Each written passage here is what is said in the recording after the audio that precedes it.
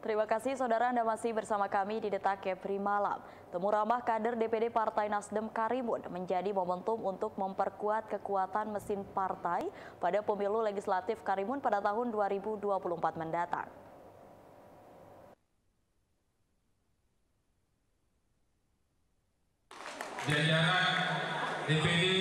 Temu kader DPD Partai Nasdem Karimun bersama Rahmat Gobel Wakil Ketua DPR RI Bidang Industri dan Pembangunan dari Partai Nasdem, menjadi momen bagi seluruh tokoh masyarakat Karimun untuk bergabung ke Partai Besutan Surya Paloh. Beberapa masyarakat yang resmi bergabung untuk menyokong pemilu legislatif 2024, di antaranya Muhammad Asyura, mantan Ketua DPRD Karimun yang sebelumnya politisi Partai Golkar, dan mantan bakal calon Bupati Karimun dan Wakil Bupati Karimun periode 2015-2020 dari jalur independen Raja Usman dan Zulkarnain. Pada kesempatan ini Ketua DPD Partai Nasdem Kabupaten Karimun Yusrizal menyampaikan dengan bergabungnya beberapa tokoh Karimun tersebut merupakan keuntungan bagi Partai Nasdem Karimun.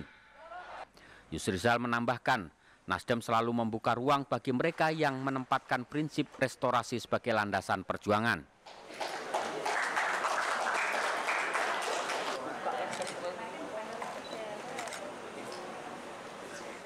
Kita ingin mengkonsolidasikan kekuatan kita di terutama di Pulau Karimun ini untuk melihat keseriusan kader kita eh, nanti dalam hal tentu arahnya ke pemenangan di 2024. Jadi yang datang tadi itu adalah eh, kader mayoritas kader di Pulau Karimun saja.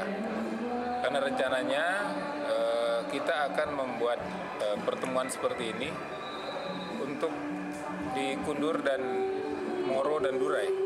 Kita akan bikin di tiap eh, pulau gitu.